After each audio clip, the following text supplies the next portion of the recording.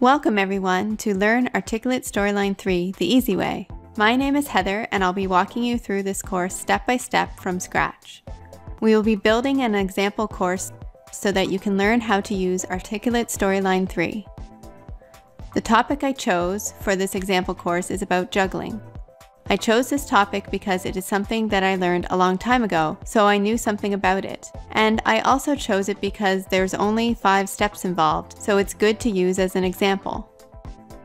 I personally learn best when I'm working towards a goal, or when I'm completing a project. So this is the approach I took with this course because I feel like it'll help you to learn Articulate Storyline 3 in a different way. So I hope you will come along with me on this journey and learn about Articulate Storyline 3. And at the end, you'll have an actual course to show for it that you can show your family and friends, and maybe even teach someone how to juggle. Thank you for watching, and I hope to see you inside.